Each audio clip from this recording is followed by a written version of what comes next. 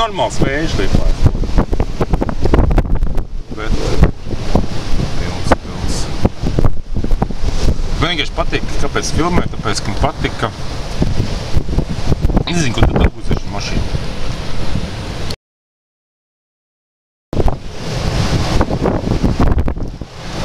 Piestājas pie šī